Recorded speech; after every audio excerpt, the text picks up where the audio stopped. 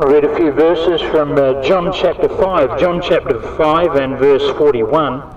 The Lord Jesus Christ speaking, he says, I receive not honour from men, but I know you that ye have not the love of God in you. He's talking to the Jews at this time. I am come in my Father's name, and ye receive me not.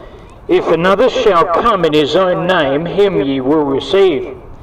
How can ye believe which receive honour one of another, and seek not the honour that cometh from God only?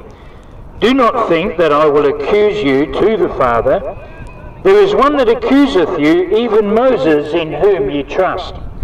For had ye believed Moses, ye would have believed me. For he wrote of me. But if ye believe not his writings, how shall ye believe my words?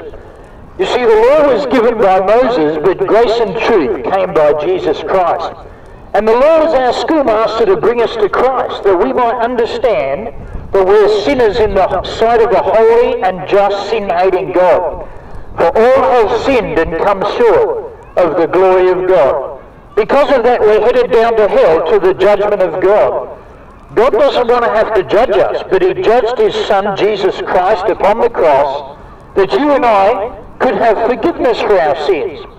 You see, the Father sent the Son to be the Saviour of the world. I wonder, is He your Saviour?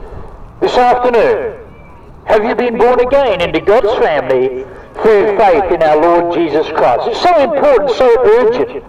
We need to get right with God. We need our sins forgiven.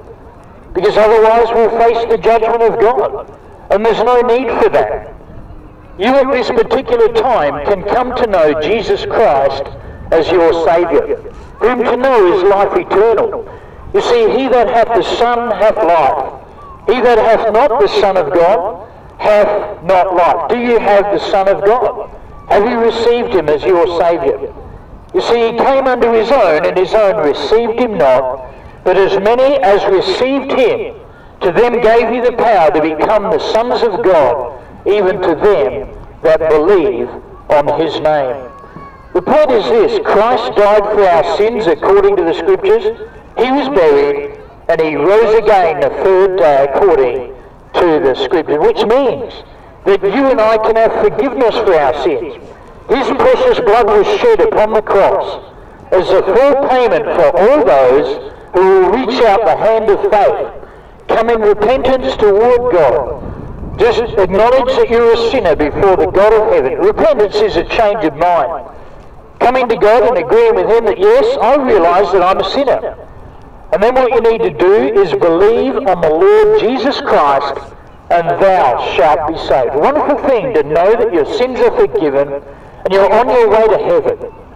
I mean, imagine if you were to die right now, where would you be? Would you be up in heaven through faith in Christ? Or would you be down in hell because you've rejected or neglected the only way of salvation? There's only one way. The Lord Jesus Christ said in John 14, 6, I am the way, the truth, and the life. No man cometh unto the Father but by me. Are you prepared to come in repentance and faith? Just acknowledge that you're a sinner before the God of heaven and then believe on the Lord Jesus Christ and thou shalt be saved. Remember, Christ died for our sins according to the Scriptures. He was buried, and he rose again the third day according to the Scriptures. Your soul can be saved through faith in our Lord Jesus Christ, in whom we have redemption through his blood, even the forgiveness of sins.